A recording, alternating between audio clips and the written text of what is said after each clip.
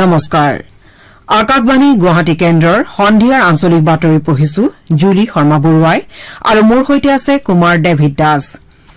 এতিয়া প্ৰধান বাতৰিসমূহ হ'ল বিশ্বৰ দীৰ্ঘতম নদীপথত চলিবলগীয়া এম ভি গংগা বিলাস জাহাজখনৰ প্ৰধানমন্ত্ৰী নৰেন্দ্ৰ মোদীৰ পতাকা জোকাৰি শুভাৰম্ভ গুৱাহাটীত সামুদ্ৰিক দক্ষতা বিকাশ কেন্দ্ৰও উদ্বোধন। কেন্দ্ৰীয় বন্দৰ জাহাজ আৰু জলপথ মন্ত্ৰালয়ৰ পদক্ষেপে উত্তৰ পূবক বিকাশ আৰু প্ৰগতিৰ ইঞ্জিনলৈ ৰূপান্তৰ কৰিব বুলি মুখ্যমন্ত্ৰী ডঃ হিমন্ত বিশ্ব শৰ্মাৰ প্ৰকাশ। ফেব্ৰুৱাৰীৰ পৰা পাৱাৰ লুমত প্ৰস্তুত কৰা সামগ্ৰীক নিষিদ্ধ কৰিবলৈ হস্ততাঁত আৰু বস্ত্ৰ শিল্প বিভাগক মুখ্যমন্ত্ৰীৰ আহান ৰাজ্যজুৰি ভোগালী বিহুক আদৰাৰ ব্যাপক প্ৰস্তুতি আৰু মুম্বাইৰ বিৰুদ্ধে গুৱাহাটীত অনুষ্ঠিত ৰঞ্জী ট্ৰফী ক্ৰিকেটৰ চাৰিদিনীয়া খেলখনত অসম এক ইনিংছ আৰু এশ আঠাইছ ৰানত পৰাস্ত। এতিয়া শুনক বিতং বাতৰি। প্ৰধানমন্ত্ৰী নৰেন্দ্ৰ মোদীয়ে আজি ভিডিঅ' কনফাৰেন্সিং ব্যৱস্থাৰে পৃথিৱীৰ দীৰ্ঘতম নদীপথত চলিবলগীয়া এম ভি গংগা বিলাস জাহাজখনৰ পতাকা জোকাৰি শুভাৰম্ভ কৰে। প্ৰধানমন্ত্ৰী শ্ৰীমোদীয়ে লগতে গুৱাহাটীত সামুদ্ৰিক দক্ষতা বিকাশ কেন্দ্ৰ উদ্বোধনৰ লগতে পাণ্ডুত এটা জাহাজ মেৰামতি কেন্দ্ৰ আৰু পাণ্ডু বন্দৰক ঘাইপথৰ সৈতে সংযোগ কৰা এলিভেটেড পথৰ শিলান্যাস কৰে। এই উপলক্ষে দিয়া ভাষণত প্ৰধানমন্ত্ৰীয়ে কয় যে ভাৰতত এশ পঁচিছখনৰো অধিক নদী আছে। পৰিবহণৰ ক্ষেত্ৰত জল পৰিবহণে আটাইতকৈ কম খৰচী পৰিবহণ ব্যৱস্থা বুলিও প্ৰধানমন্ত্ৰীগৰাকীয়ে মন্তব্য কৰে। তেওঁ কয় যে জলপথ খণ্ডত চৰকাৰে গ্ৰহণ কৰা উন্নয়নমূলক কাম কাজসমূহে পৰিবহণ বাণিজ্য আৰু পৰ্যটন বৃদ্ধি কৰিব। শ্ৰীমোদীয়ে কয় যে ইয়াৰ জৰিয়তে পূৰ্বাঞ্চলক দেশৰ বিকাশৰ ইঞ্জিন হিচাপে গঢ়ি তোলাত সহায়ক হ'ব। ছুইজাৰলেণ্ডৰ পৰ্যটকসকলক তেওঁলোকৰ যাত্ৰাৰ বাবে শুভেচ্ছা জনাই প্ৰধানমন্ত্ৰীয়ে কয় যে কোনো লোকৰ চিন্তাৰ পৰিধি বাহিৰৰ আৰু ভিতৰৰ সকলোখিনিয়েই ভাৰতবৰ্ষত পোৱা যায়। বিশ্বত দেশৰ বিকাশৰ প্ৰভাৱ সম্পৰ্কে উল্লেখ কৰি শ্ৰীমোদীয়ে কয় যে জাহাজ পৰ্যটন আৰু ঐতিহ্য পৰ্যটন দেশত এটা এনে এটা সময়ত আৰম্ভ হৈছে যিটো সময়ত ভাৰতবৰ্ষই বিশ্বৰ বিভিন্ন প্ৰান্তৰ লোকক আকৰ্ষিত কৰিছে অনুষ্ঠানত অসম আৰু উত্তৰ প্ৰদেশৰ মুখ্যমন্ত্ৰী বিহাৰৰ উপ মুখ্যমন্ত্ৰী আৰু কেন্দ্ৰীয় জাহাজ আৰু বন্দৰ মন্ত্ৰী সৰ্বানন্দ সোণোৱালো উপস্থিত থাকে M V Ganga Vilas river cruise সন্দৰ্ভত বাৰাণসীৰ পৰা এতিয়া শুনক আকাশবাণীৰ সংবাদদাতা সুশীল চন্দ্ৰ তিৱাৰীৰ প্ৰতিবেদন जी देखिए प्रधानमंत्री नरेंद्र मोदी ने गंगा विलास क्रूज को जो है, वो आज हरी झंडी दिखाकर रवाना किया और ये 50 दिनों के सफ़र पर निकल पड़ा है। ये क्रूज, जैसा कि हम जानते हैं कि बंगाल, बिहार के साथ ही आसाम में भी जाएगा और डिब्रूगढ़ में ही इसकी यात्रा खत्म होगी। तमाम नदी चैनलों से जाएगा, नदी परिवहन मार्गों से जाएगा, लगभग 25 से अधिक ऐसे नदी परिवहन मार्ग हैं और उसमें स्वाभाविक तौर पर असम की भी जो नदियाँ हैं, वो भी शामिल हैं। आज जब इस बात की चर्चा हुई, प्रधानमंत्री जी ने अपने भाषण में, अपने संबोधन में इस बात का ज़िक्र किया कि किस तरीके से ये पूर्व के लिए एक देश को, देश की प्रगति में जो जिसे कहें कि ग्रोथ इंजन बनाने का काम पूर्व के लिए करेगा, पूर्व, पूर्वी भारत के लिए करेगा, और स्वाभाविक तौर पर युवाओं के लिए, पर्यटन से जुड़े लोगों के लिए रोज़गार के भी नए अवसर पैदा होंगे। और इनमें वो जो राज्य हैं, जो कि इस पूरे चैनल के पार्टनर हैं, जो इस पूरे चैनल में जहाँ की नदियाँ और क्षेत्र शामिल हैं, उनको भी इससे फ़ायदा होगा। तो निश्चित रूप से बंगाल, बिहार और आसाम के साथ ही उत्तर प्रदेश के युवाओं को भी इसमें रोज़गार मिलेगा। इसकी वजह से जो वाटरवेज ट्रांसपोर्ट है, किस तरीके से भारत में बढ़ा है, इसकी भी चर्चा की गई। हल्दिया में किस तरीके से सुविधाएँ बढ़ाई जा रही हैं, प्रधानमंत्री जी ने उस बात का ज़िक्र किया।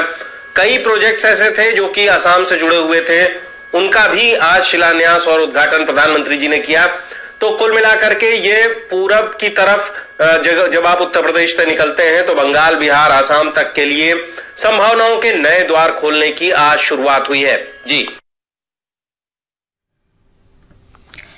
ইপিনে মুখ্যমন্ত্ৰী ডঃ হিমন্ত বিশ্ব শৰ্মাই কয় যে বন্দৰ জাহাজ আৰু জলপথ মন্ত্ৰালয়ৰ এই পদক্ষেপে অসমৰ পৰ্যটন সম্ভাৱনা বৃদ্ধি কৰিব। উত্তৰ পূবক বিকাশ আৰু প্ৰগতিৰ ইঞ্জিনলৈ ৰূপান্তৰ কৰিব বুলি মুখ্যমন্ত্ৰী ডঃ শৰ্মাই প্ৰকাশ কৰে। উল্লেখযোগ্য যে এম ভি গংগা বিলাসে প্ৰথমটো যাত্ৰা আজি বাৰাণসীৰ পৰা আৰম্ভ কৰি একাৱন্ন দিনত প্ৰায় তিনি হাজাৰ দুশ কিলোমিটাৰ পথ অতিক্ৰম কৰি বাংলাদেশ হৈ অসমৰ ডিব্ৰুগড়ত উপস্থিত হ'ব। এই বিলাসী জাহাজখনৰ প্ৰথমটো যাত্ৰা ছুইজাৰলেণ্ডৰ বত্ৰিশগৰাকী পৰ্যটকে নদী ভ্ৰমণৰ আনন্দ লাভ কৰিব। জাহাজখনে ভাৰত আৰু বাংলাদেশৰ সাতাইছখন নদীৰ জৰিয়তে এই যাত্ৰা সম্পূৰ্ণ কৰিব। মুখ্যমন্ত্ৰী ডঃ হিমন্ত বিশ্ব শৰ্মাই গুৱাহাটীত আজি হস্ততাঁত আৰু বস্ত্ৰ বিভাগৰ দ্বাৰা আয়োজিত এটা অনুষ্ঠানত স্বনিৰ্ভৰ নাৰী শীৰ্ষক আঁচনি মুকলি কৰে। এই আঁচনিৰ জৰিয়তে ৰাজ্যত স্থাপন কৰা এশটা ক্ৰয় কেন্দ্ৰত চাৰি লাখ আশী হাজাৰ শিপিনীৰ পৰা গামোচা আৰনাই আৰু অন্যান্য হস্ততাঁত সামগ্ৰী ক্ৰয় কৰা হ'ব। থলুৱা শিপিনীসকলক অৰ্থনৈতিক সুৰক্ষা প্ৰদানৰ লগতে পাৱাৰ লুমৰ আগ্ৰাসনৰ পৰা অসমৰ হস্ততাঁত পৰম্পৰা ৰক্ষাৰ ক্ষেত্ৰত যথেষ্ট সহায়ক হ'ব বুলি মুখ্যমন্ত্ৰী ডঃ শৰ্মাই ভাষণ প্ৰসংগত উল্লেখ কৰে। ফেব্ৰুৱাৰীৰ পৰা পাৱাৰ লুমত প্ৰস্তুত কৰা সামগ্ৰীক নিষিদ্ধ কৰিবলৈ হস্ততাঁত আৰু বস্ত্ৰ শিল্প বিভাগক মুখ্যমন্ত্ৰীগৰাকীয়ে আহান জনায়। হেণ্ডলুম টেক্সটাইল ডিপাৰ্টমেণ্টৰ উদ্যোগত চাৰি লাখ আশী হাজাৰ আই মাতৃ বোৱনী পঞ্জীয়নভুক্ত হ'ল। আজিৰ পৰা আমি এশটা ক্ৰয় কেন্দ্ৰ আৰম্ভ কৰিছো। যেনেকে ধান কিনা ক্ৰয় কেন্দ্ৰ আছে আজিৰ পৰা ধান কিনো যেনেকে গামোচা কিনাও ক্ৰয় কেন্দ্ৰ আৰম্ভ হ'ল। এই ক্ৰয় কেন্দ্ৰত আমি গামোচা জমা দিম আৰু গামোচাৰ মূল্য আমাৰ বেংক একাউণ্টত থ্ৰু ডি বি টি ডিপাৰ্টমেণ্টে পঠিয়াই দিব। ইতিমধ্যে তাৰ বাবে প্ৰয়োজনীয় পুঁজি বিত্ত বিভাগে ডিপাৰ্টমেণ্টক মুকলি কৰি দিছে। এই বছৰ মই হস্ততাঁত বস্ত্ৰশিল্প বিভাগক আৰু আহ্বান জনাম। যে ফেব্ৰুৱাৰী মাহৰ পৰা আমি এটা অভিযান চলাব লাগিব যাতে অসমত ক'তো পাৱাৰ লুমৰ গামোচা নাথাকে। আৰু পাৱাৰ লুমৰ মেখেলা চাদৰো আমি নিষিদ্ধ তালিকাত আছে। সেই বিষয়ে আমাৰ টেক্সটাইল মাৰ্চেণ্ট এছ'চিয়েশ্যনৰ সদস্যসকলক মাতি বিভাগে কথা পাতিব লাগে। ইপিনে তিনিচুকীয়া ধেমাজি গোলাঘাট কাৰ্বি আংলং বাক্সা কোকৰাঝাৰ নগাঁৱতো স্বনিৰ্ভৰ নাৰী শীৰ্ষক আঁচনি উদ্বোধন কৰা হয়। বাক্সা জিলাৰ জালা উন্নয়ন খণ্ডৰ চৌহদত স্বনিৰ্ভৰ নাৰী আঁচনিৰ অধীনত এটা ক্ৰয় কেন্দ্ৰ মুকলি কৰা হয়। গোলাঘাটত জিলাখনৰ অতিৰিক্ত উপায়ুক্ত ড সংগীতা বৰঠাকুৰে শিপিনীসকলৰ বাবে ক্ৰয় কেন্দ্ৰটো মুকলি কৰে। নগাঁও স্বাস্থ্যমন্ত্ৰী কেশৱ মহন্তই স্বনিৰ্ভৰ নাৰী শীৰ্ষক আঁচনিখনৰ অধীনত ক্ৰয় কেন্দ্ৰটো মুকলি কৰে। গুৱাহাটী মহানগৰ উন্নয়ন কৰ্তৃপক্ষই নৰূপত সজাই তোলা ইতিহাস প্ৰসিদ্ধ উগ্ৰতাৰা দেৱালয়ৰ সংলগ্ন জোৰপুখুৰী অত্যাধুনিক উদ্যান আজি মুকলি কৰা হয়। মুখ্যমন্ত্ৰী ডঃ হিমন্ত বিশ্ব শৰ্মাই উদ্যানখন মুকলি কৰি কয় যে ৰাজ্য চৰকাৰে গুৱাহাটীক এখন সৰ্বাংগ সুন্দৰ চহৰলৈ ৰূপান্তৰ কৰিবৰ বাবে বহু পৰিকল্পনা যুগুত কৰিছে। জোৰপুখুৰী উদ্যানখনে দৰ্শনাৰ্থীসকলক নতুন অভিজ্ঞতা প্ৰদান কৰিব বুলিও মুখ্যমন্ত্ৰীগৰাকীয়ে মন্তব্য কৰে। অমৃত অভিযানৰ অধীনত তিনি কোটি তেইছ লাখ টকা ব্যয় সাপেক্ষে এই উদ্যানখন নিৰ্মাণ কৰা হৈছে। এই প্ৰকল্পৰ অধীনত পুখুৰীৰ পৰা মাটি প্লাষ্টিক আদি আঁতৰ কৰাৰ লগতে কাউনোমিক্স নামৰ পাৰিপাৰ্শ্বিক প্ৰযুক্তিৰ দ্বাৰা পুখুৰীক পুনৰুজ্জীৱিত কৰা হৈছে। দুয়োটা পুখুৰীৰ মাজত পথ ব্যৱস্থাৰ লগতে উদ্যানত আলোকসজ্জা আৰু তিনিটা হাঁহৰ গঁড়াল নিৰ্মাণ কৰা হৈছে। ৰাজ্য চৰকাৰে গুৱাহাটীক স্মাৰ্ট চিটি হিচাপে গঢ়ি তোলাৰ লক্ষ্যৰে ব্ৰহ্মপুত্ৰ নদী মুখ প্ৰকল্পৰ ৰূপায়ণ অব্যাহত ৰাখিছে।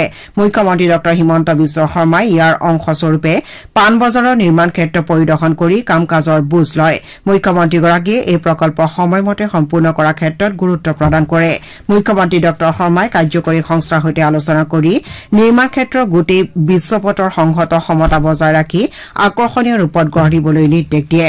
ইপিনে মুখ্যমন্ত্ৰীগৰাকীয়ে ফাঁচী উদ্ভিদ উদ্যান পৰিদৰ্শন কৰি উদ্যানখনত চলি থকা নিৰ্মাণ কাৰ্য সকলো দিশৰ বুজ লয়। সমাগত ছমাহৰ ভিতৰত উদ্যানখনৰ প্ৰথম পৰ্যায়ৰ নিৰ্মাণ কাৰ্য সম্পূৰ্ণ হৈ উঠিব বুলি মুখ্যমন্ত্ৰীগৰাকীয়ে আশা প্ৰকাশ কৰে। এই পৰিদৰ্শন কালত মুখ্যমন্ত্ৰী ডঃ শৰ্মাৰ সৈতে মন্ত্ৰী অশোক সিংহল আৰু জি এম ডি এৰ অধ্যক্ষ নাৰায়ণ ডেকা উপস্থিত থাকে। শ্ৰোতাসকলে সন্ধিয়াৰ আঞ্চলিক বাতৰি শুনিছে আকাশবাণী গুৱাহাটী কেন্দ্ৰৰ পৰা। এতিয়া পৰৱৰ্তী বাতৰি শুনক কুমাৰ ডেভিড দাসৰ পৰা।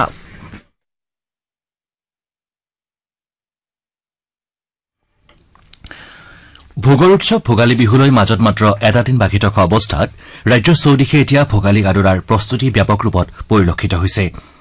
গাঁৱৰ লগতে চহৰৰ জীয়ৰী বোৱাৰীয়ে পিঠা পনা ভজাত ব্যস্ত হৈ পৰিছে। পথাৰত মেজি ভেলাঘৰ সাজি পৰম্পৰাগতভাৱে অগ্নিদেৱতাক পূজা কৰিবলৈ প্ৰতিগৰাকী অসমীয়া সাজু হৈ উঠিছে। ভোগালীক আদৰাৰ বাবে বজাৰত খাদ্য সামগ্ৰী তথা বিভিন্ন বয় বস্তুৰ উভৈনদী হৈ পৰিছে।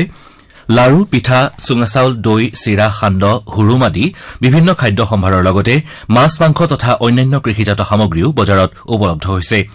সমান্তৰালভাৱে বিহু উপলক্ষে গুৱাহাটীকে ধৰি ৰাজ্যৰ বিভিন্ন স্থানত প্ৰাক ভোগালী মেলা বা ভোগালী উৎসৱ আদিৰো আয়োজন কৰা হৈছে। ঠাই বিশেষে পিঠা পনা প্ৰস্তুত কৰাৰ প্ৰতিযোগিতাও অনুষ্ঠিত কৰা দেখিবলৈ পোৱা গৈছে। ৰাজ্যৰ বিভিন্ন প্ৰান্তৰ লগতে কামৰূপ জিলাতো ভোগালীৰ প্ৰস্তুতি দেখিবলৈ পোৱা গৈছে। নিত্য প্ৰয়োজনীয় সামগ্ৰীৰ আকাশলংঘী মূল্য বৃদ্ধিৰ মাজতো ভোগালীৰ প্ৰস্তুতি সম্পূৰ্ণ কৰি তোলা হৈছে। শুৱালকুছিতো ভাৰতীয় জনতা পাৰ্টীৰ তৰফৰ পৰা ভোগালী বিহুৰ আয়োজন কৰা হৈছে। তিনিচুকীয়া থানা চাৰিআলিৰ ডাকবাংলো প্ৰাংগণত ভোগালী বিহু উপলক্ষে তিনিদিনীয়া কাৰ্যসূচীৰে অসমী ভোগালী মেলা অনুষ্ঠিত হৈছে। এই ভোগালী মেলাত জিলাখনৰ সাতটা উন্নয়ন খণ্ডৰ ওঠৰটা আত্মসহায়ক গোট ছটা মণ্ডল পৰ্যায়ৰ সংগঠন আৰু এটা উৎপাদক গোটে অংশগ্ৰহণ কৰিছে। নগাঁও জিলাতো ভোগালীক লৈ আনন্দমুখৰ পৰিৱেশে বিৰাজ কৰিছে। জিলাখনৰ ফুলগুৰিৰ দক্ষিণ জাগিয়াল গাঁও পঞ্চায়তৰ জাকৰুৱা বিলত আজি ভোগালীৰ সাজৰ বাবে মৎস্য চিকাৰত নামে অঞ্চলবাসী। সমূহীয়া এই মাছ ধৰা পৰ্বত নগাঁৱৰ লগতে মৰিগাঁও জিলাৰো শ শ লোকে ভাগ লয়। ইপিনে ধুবুৰী জিলাৰ গোলকগঞ্জ গৌৰীপুৰ বিলাচীপাৰাৰ লগতে বাক্সা চিৰাং সকলোতে ভোগালী বিহু উপলক্ষে উখল মাখল পৰিৱেশে বিৰাজ কৰিছে। সংসদৰ বাজেট অধিৱেশন নহা একত্ৰিশ জানুৱাৰীৰ পৰা আৰম্ভ হ'ব। অহা ছয় এপ্ৰিলত এই অধিৱেশনৰ সামৰণি পৰিব। এইবাৰৰ অধিৱেশনত সাধাৰণ বিৰতিসহ ছয়ষষ্ঠি দিনত সাতাইছটা সত্ৰ অনুষ্ঠিত হ'ব। সংসদীয় পৰিক্ৰমা মন্ত্ৰী প্ৰহ্লাদ যোশীয়ে এটা টুইটযোগে এই কথা প্ৰকাশ কৰিছে। তেওঁ কয় যে অমৃতকালৰ মাজতেই এই অধিৱেশনত চৰকাৰে ৰাষ্ট্ৰপতিৰ ভাষণৰ ধন্যবাদসূচক প্ৰস্তাৱ কেন্দ্ৰীয় বাজেট আৰু অন্যান্য বিষয় লৈ আলোচনা কৰাৰ সম্ভাৱনা আছে। ইপিনে প্ৰধানমন্ত্ৰী নৰেন্দ্ৰ মোদীয়ে আজি অৰ্থনীতিবিদসকলৰ সৈতে নতুন দিল্লীৰ নীতি আয়োগত এখন বৈঠকত মিলিত হয়। প্ৰধানমন্ত্ৰী মোদীয়ে এই বৈঠকখনত কেন্দ্ৰীয় বাজেট সন্দৰ্ভত অৰ্থনীতিবিদসকলৰ পৰা মতামত আৰু পৰামৰ্শ গ্ৰহণ কৰা বুলি বিশেষ সূত্ৰত প্ৰকাশ। এই বৈঠকত বিত্তমন্ত্ৰী নিৰ্মলা সীতাৰামন তথা নীতি আয়োগৰ উপাধ্যক্ষ সুমন বেৰীও উপস্থিত থাকে। প্ৰধানমন্ত্ৰী নৰেন্দ্ৰ মোদীয়ে দিল্লীৰ তালকোটৰা ইণ্ডোৰ ষ্টেডিয়ামত অহা সাতাইছ জানুৱাৰীত পৰীক্ষা পে চৰ্চা কাৰ্যসূচীত অংশগ্ৰহণ কৰিব। প্ৰধানমন্ত্ৰী নৰেন্দ্ৰ মোদীয়ে এই কাৰ্যসূচীৰ মাধ্যমেৰে শিক্ষাৰ্থীসকলক পৰীক্ষাৰ পৰা উদ্ভৱ হোৱা মানসিক চাপৰ পৰা মুক্ত হৈ শ্ৰেষ্ঠত্ব উজাৰি দিবলৈ অনুপ্ৰেৰণা যোগাব। এই কাৰ্যসূচীৰ জৰিয়তে দেশ বিদেশৰ শিক্ষাৰ্থী অভিভাৱক আৰু শিক্ষক শিক্ষয়িত্ৰীয়ে প্ৰধানমন্ত্ৰীৰ সৈতে মত বিনিময় কৰি আহিছে। তেওঁলোকে পৰীক্ষাৰ ফলত হোৱা মানসিক চাপ জয় কৰি জীৱনটো উৎসৱ হিচাপে উদযাপন কৰাৰ বিষয় লৈ আলোচনা কৰি আহিছে। এইবাৰৰ এই কাৰ্যসূচীৰ বাবে যোৱা বছৰৰ তুলনাত দুগুণতকৈ অধিক ছাত্ৰ ছাত্ৰী শিক্ষক শিক্ষয়িত্ৰী আৰু অভিভাৱকে নাম পঞ্জীয়ন কৰিছে। চৰকাৰে দেশজুৰি ছশ একাৱন্নখন জিলাত নতুন জনঔষধি কেন্দ্ৰ মুকলি কৰাৰ উদ্দেশ্যে অনলাইন আবেদনৰ আহান কৰিছে। সকলোৰে বাবে সুলভ মূল্যত মানসম্পন্ন ঔষধ উপলব্ধ কৰাৰ উদ্দেশ্যে প্ৰধানমন্ত্ৰী ভাৰতীয় জনঔষধি পৰিযোজনা মুকলি কৰা হৈছিল। এই আঁচনিৰ অধীনত সদ্যহতে দেশজুৰি ন হাজাৰতকৈও অধিক জনঔষধি কেন্দ্ৰ কাৰ্যক্ষম হৈ আছে।